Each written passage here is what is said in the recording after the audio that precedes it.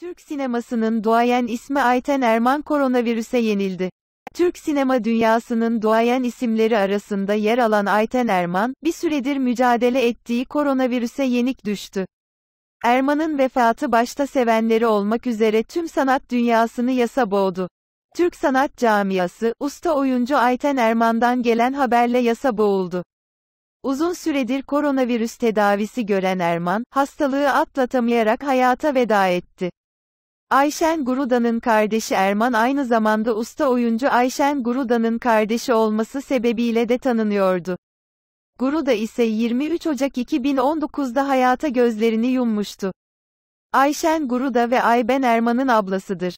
Tosun Paşa, En Büyük Şaban, Şendul Şaban gibi filmlerin yanında Kenan Büke Tiyatrosu, Dormen Tiyatrosu, Tuncay Özinel Tiyatrosu ve birçok özel tiyatro ve müzikallerde roller almıştır. Şemsi İnkaya ile evliliğinden bir çocuğu vardır.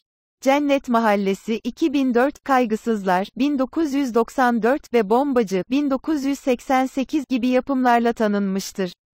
Videomu beğendiyseniz like atmayı ve kanalıma henüz abone değilseniz abone olmayı unutmayın. Yeni videolarda görüşmek üzere hoşçakalın.